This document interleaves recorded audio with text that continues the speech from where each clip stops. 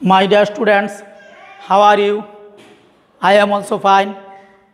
I am Ranjit Kumar Das Talukdar, Lobjan Chaudhuri Girls High School, Assistant Teacher, Lobjan Chaudhuri Girls High School, Sunamganj. Dear students, আমরা এই corona ভাইরাসের জন্য আমরা আমাদের school বন্ধ আছে তোমরা যে যেখানে থাকো না কেন তোমরা প্রত্যেকটি ক্লাসের প্রতি লক্ষ্য রেখো এবং প্রত্যেকটি ক্লাস অনলাইনে দেখার জন্য চেষ্টা করবে। আমি আশা করি তোমরা প্রত্যেকটা ক্লাস দেখবে। আমরা আজকে সপ্তম শ্রেণির ইংরেজি সেকেন্ড পেপারের টেন্স সম্বন্ধে কিছু আলোচনা করব। তো আমরা প্রথমেই জানব যে টেন্স কি। টেন্সের বাংলা হলো কাল বা সময়। অর্থাৎ সময় বলতে আমরা সেই সময়কে বুঝি, কাজটা যে সময় সংগঠিত হয়। অর্থাৎ ক্রিয়ার সংগঠনের সময়কে টেন্স বলে। আমি আশা করি তোমরা বুঝতে পেরেছ যে ক্রিয়ার সংগঠনের সময়কে টেন্স বলে। অর্থাৎ ক্রিয়াটা, অর্থাৎ কাজটা কোন সময়ে হয়? যে সময়ে কাজটা সংগঠিত হয়, সেই সময়কে টেন্স বা কাল বলে। তো আমরা এখন এই টেন্সকে প্রধানত তিন ভাগে ভাগ করা হয়েছে। বা টেন্স বা কালকে তিন ভাগে ভাগ করা হয়েছে।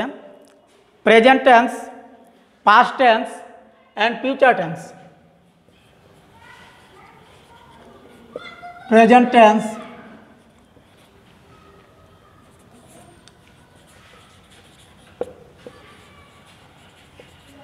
past tense, future tense.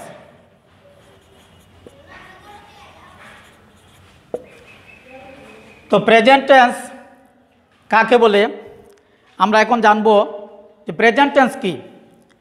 Present tense হলো বর্তমান সময়ে, অর্থাৎ বর্তমান সময়ে যে কাজ হয় বা হচ্ছে। বর্তমান সময়ে যে কাজ বারবের যে কাজ হয় বা হচ্ছে, সেই সময়টাকে প্রেজেন্ট টেন্স বলে, যেমন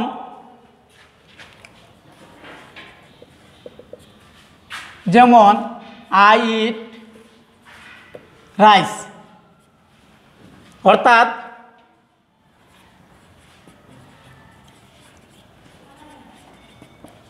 আমি ভাত খাই। এই যে আমি ভাত খাই খাই এখানে ক্রিয়া বা বার এই বারটা কখন সংগঠিত হচ্ছে? বর্তমান সময়ে। এই জন্য এটাকে বলা হয় প্রেজেন্ট টেন্স তারপরে আসি পাস্ট টেন্স পাস্ট টেন্স বলতে যেটা যে কাজটা অতীত, অর্থাৎ যে কাজটা হয়ে গিয়েছে, অর্থাৎ অতীতকালে যে কাজটা হয়েছিল, সেই কাজটাকে বলা হয় পাস্ট টেন্স যেমন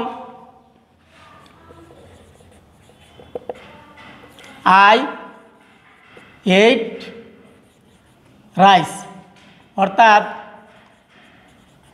আমি ভাত খেয়েছিলাম।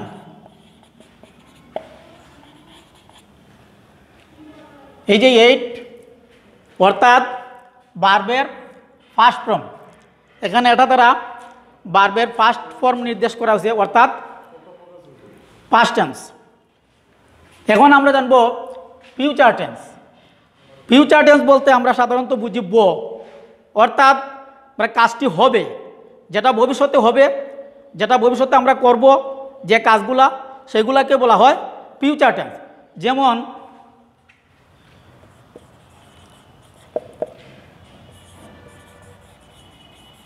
যেমন আই ইট রাইস অর্থাৎ, আমি ভাত খাব। এখানে যদি বার্বের সাথে, অর্থাৎ বাংলা ক্রিয়ার সাথে ব যদি লাগাল থাকে তাহলে এটা বুঝব যে এটা ফিউচার টেন্স তাহলে আমরা এখন বুঝতে পারছি যে টেন্স হইল তিন প্রকার প্রেজেন্ট টেন্স বা বর্তমানকাল পাস্ট টেন্স বা অতীতকাল ফিউচার টেন্স বা ভবিষ্যৎকাল এখন আমরা প্রত্যেকটা টেন্সকে আবার চার ভাগে ভাগ করা হয়েছে। আমরা এই বাঘগুলো নিয়ে আমরা আলোচনা করব।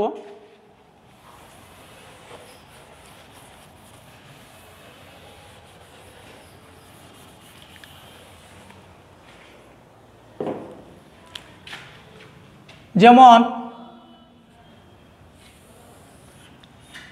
প্রেজেন্ট টেন্স চার প্রকার present indefinite present indefinite continuous present perfect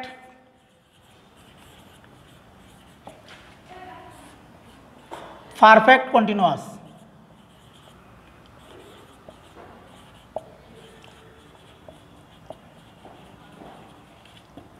perfect continuous এই চারটা ভাগ প্রেজেন্ট টেন্সকে চার ভাগে ভাগ করা হয়েছে। Present indefinite present continuous present perfect present perfect continuous তো ডিয়ার স্টুডেন্টস আমরা প্রেজেন্ট ইনডিফিনিট নিয়ে প্রথমে আলোচনা করব। প্রেজেন্ট ইনডিফিনিটের স্ট্রাকচারটা তোমরা লিখে নাও। প্রথমে সাবজেক্ট সাবজেক্টের পরে মূল বার অর্থাৎ মূল বার্বের প্রেজেন্ট ফর্ম প্লাস অবজেক্ট যেমন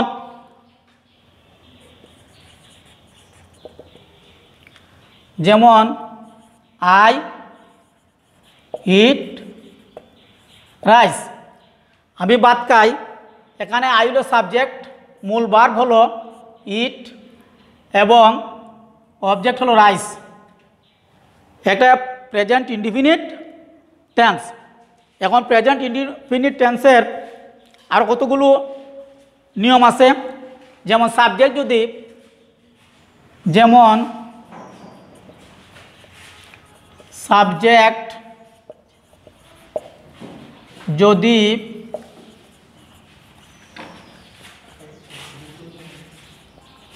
তার পার্সন সিঙ্গুলার নাম্বার হয় তাহলে বার্বের শেষে এস বা ইয়েস যোগ করতে হয়। ডিয়ার স্টুডেন্টস তোমরা একটা জিনিস অবশ্যই মনে রাখবে যে সাবজেক্ট এখানে আমি বলছি যে সাবজেক্ট যদি তার পার্সন সাবজেক্ট বলতে আমরা এটাকে বুঝি সাবজেক্ট যদি তার পার্সন সিঙ্গুলার নাম্বার হয়, এখন আমরা সাবজেক্ট যদি তার পার্সন সিঙ্গুলার নাম্বার যেমন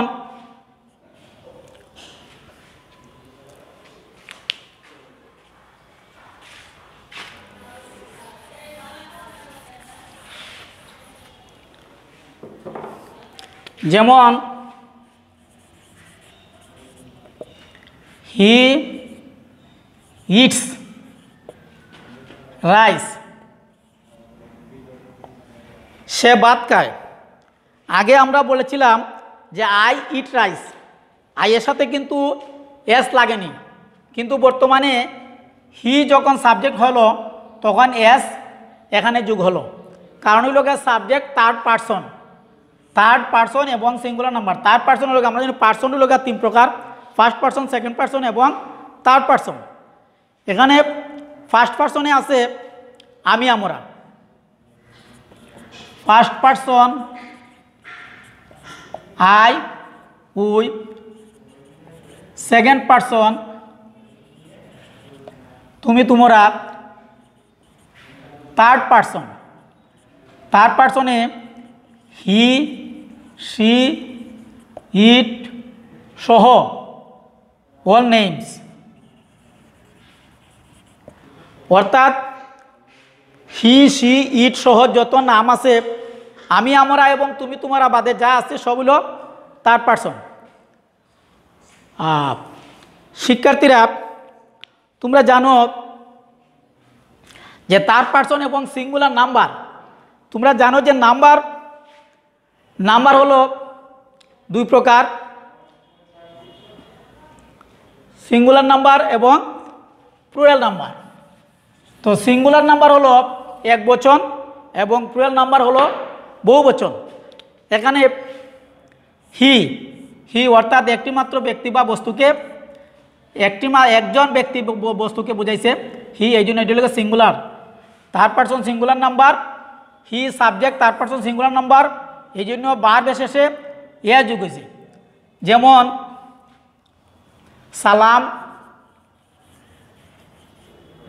সালাম, গোজ, টু, স্কুল। সালাম স্কুলে যায়, সালামও তার পার্সন এবং সিঙ্গুলার নাম্বার এই জন্য বারবার শেষে ইয়েস যুগ হয়েছে। তো শিক্ষার্থী বন্ধুরা আমরা এখন, আমি আশা করি মোটামুটি প্রেজেন্ট ইনডিফিনিট টেন্স সম্বন্ধে তোমাদের একটা ধারণা হয়েছে। এখন আমরা আলোচনা করব প্রেজেন্ট কন্টিনিউয়াস টেন্স সম্বন্ধে।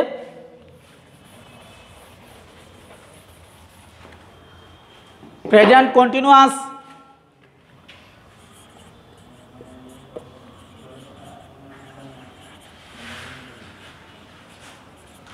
টেন্সের স্ট্রাকচারটা হলো প্রেজেন্ট কন্টিনিউয়াস টেন্সের প্রথমেই প্রেজেন্ট কন্টিনিউয়াস টেন্সের স্ট্রাকচারটা লিখে নাও। প্রথমে সাবজেক্ট সাবজেক্টের পরে এম ইজ আর তারপর মূল ভার মূল ভার plus ING plus object oblique extension প্রথমে আমরা আমরা জানি যে প্রেজেন্ট কন্টিনিউয়াস টেন্স বলতে আমরা কি বুঝি? অর্থাৎ বার্বের যে কাজটা, সেটা চলছে বুঝায়। যখন বার্বের কাজ চলছে, অর্থাৎ কোনো কাজ চলছে বুঝাইলে, আমরা বুঝে নেব এটা প্রেজেন্ট কন্টিনিউয়াস টেন্স যেমন আমি ভাত খাচ্ছি, আমি পড়ছি আমি বাড়ি যাচ্ছি, সে ডাকা যাচ্ছে, সে একটি সে গান গাচ্ছে। এই সমস্ত বাক্য প্রেজেন্ট কন্টিনিউয়াস টেন্স হবে। যেমন, প্রথমে সাবজেক্ট যেমন স্ট্রাকচার অনুযায়ী আই আইয়ের সাথে এম বসবে। আইয়ের সাথে এখানে যে কোনো একটি, এম ইজ আর অর্থাৎ যে কোনো একটি বসবে। আই এম ইট। ইট হলো মূল ভার্ব, ইটের সাথে আইএনজি যুগ। I am eating rice. আমি ভাত খাচ্ছি। এটা একটা প্রেজেন্ট কন্টিনিউয়াস টেন্স। অর্থাৎ সাবজেক্টের পরে এম ইজ আর এর তিনটা আছে অবদিলির বার এখান থেকে যে কোনো একটা বসবে, এম বসবে। আর মূল বার হইল ইট। ইটের সাথে আইএনজি যুগ eating I am eating object হইল গা rice I am eating rice আমি ভাত খাচ্ছি। ডিয়ার স্টুডেন্টস আশা করি প্রেজেন্ট কন্টিনিউয়াস টেন্স সম্বন্ধে তোমাদের একটা ভালো ধারণা হয়েছে। এরপরে আমরা আসব perfect tense present perfect present perfect tense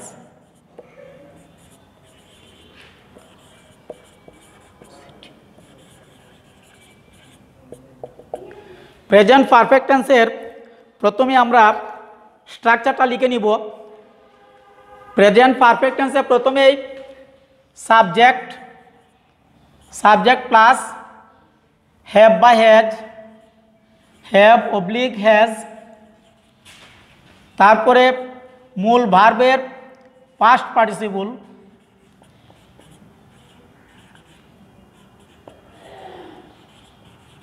মূল ভার্বের পাস্ট পার্টিসিপল তারপর অবজেক্ট অথবা এক্সটেনশন ডিয়ার স্টুডেন্টস আমরা জানি কোনো টেন্স যখন আমরা গঠন করব, তখনই প্রথমে সাবজেক্ট বসে। এটি হলো প্রেজেন্ট পারফেক্ট টেন্স যেহেতু সাবজেক্টের পরে হ্যাভ এবং হ্যাজ দুটো থেকে যে কোনো একটি বসবে। এরপরে মূল বার্বের পাস্ট পার্টিসিপল হবে, তারপর অবজেক্ট অথবা এক্সটেনশন যেমন, আমরা একই বার্ব দিয়ে করব। আমরা বারটা ছিল ইট তো আমি I have eat rice I have eaten rice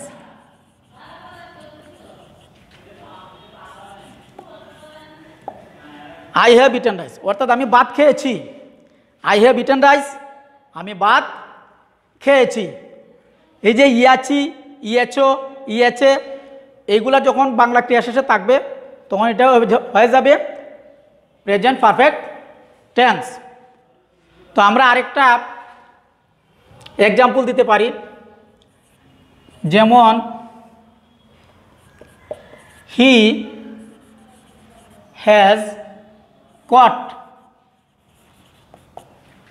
he has caught a bird সে একটি পাখি ধরিয়াছে। হি হ্যাজ কট এ বার্ড এখানে যেহেতু হি তার পাঠানো সিঙ্গুলার নাম্বার এই জন্য হ্যাভ না বসে হ্যাজ বসছে এবং মূল বার্বের past participle খেছে past participle caught he has caught a bird একটি সাবজেক্ট বা অ্যাকশন ডিয়ার স্টুডেন্টস আশা করি প্রেজেন্ট পারফেক্ট টেন্স সম্বন্ধে মোটামুটি একটা ধারণা হয়েছে।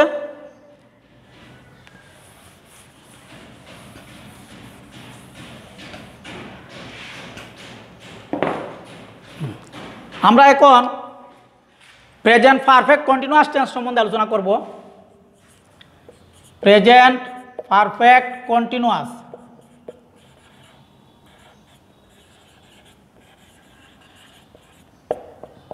তো আমরা প্রথমেই স্ট্রাকচারটা লিখে নিব। প্রথমে সাবজেক্ট সাবজেক্টের পরে হ্যাভ বিন হ্যাভ বিন বা হ্যাজ বিন প্লাস মূল বার্বের সাথে, মূল বার্বের সাথে ING plus object oblique extension present perfect present perfect continuous টেন্সের স্ট্রাকচার হলো প্রথমে সাবজেক্ট সাবজেক্টের পরে হ্যাভ বিন বা has been has been have been বা হ্যাজ বিন মূল বার্বের সাথে আইএনজি তারপর অবজেক্ট বা এক্সটেনশন এখন আমরা একটা উদাহরণ দিব, যেমন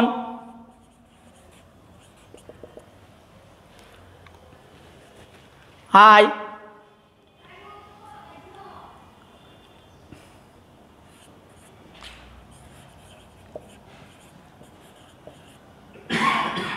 I have been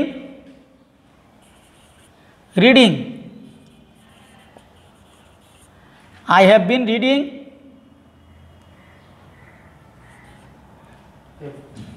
I have been reading an hour. I have been reading an hour. অর্থাৎ আমি এক ঘণ্টা যাবৎ পড়ছি I have been reading an hour আমি এক ঘণ্টা যাবৎ পড়ছি। এখানে সাবজেক্ট হলো আই আই এর পরে যেহেতু ফার্স্ট পারসন হ্যাভ বিন বসবে এবং মূল বার রিড রিডের সাথে আইএনজি যুগ, অর্থাৎ রিডিং এন আওয়ার অবজেক্ট বা অ্যাকশন এক ঘণ্টা।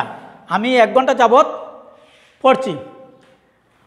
ডিয়ার স্টুডেন্টস আমরা আশা করি, আমি আশা করছি যে তোমরা প্রাথমিক অবস্থায় মোটামুটি এই চারটি টেন্স সম্বন্ধে কিছু ধারণা জন্মেছে। পরবর্তীতে আমরা পাস্ট টেন্স এবং ফিউচার টেন্স নিয়ে আমরা আলোচনা করব। ততদিন পর্যন্ত তোমরা সবাই ভালো থাকো এবং আগামী ক্লাসের জন্য আগামী ক্লাস যাতে দেখতে পারো, সেই অপেক্ষা করেই এখানে বিদায় নিচ্ছি। ধন্যবাদ।